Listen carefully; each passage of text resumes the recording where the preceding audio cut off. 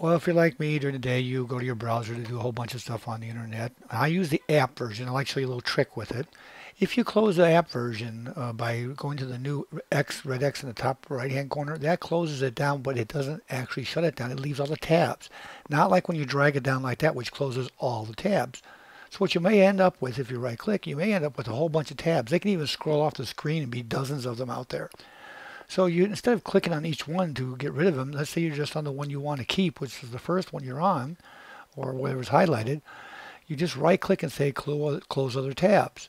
And when you do that, you just bam, they're all gone. So there's a quick tip how to get rid of all those extra pesky tabs in Internet Explorer. Uh, another nice feature of the app version for IE11. Hey, for more great tips from Old Guy Geek, don't forget to subscribe. Uh, share it with your friends on Facebook or Twitter. Uh, take a look at our playlist Windows 8 playlist, Windows Phone 8 playlist, and a general how to. And of course, our latest uh, feature video. And thanks for watching.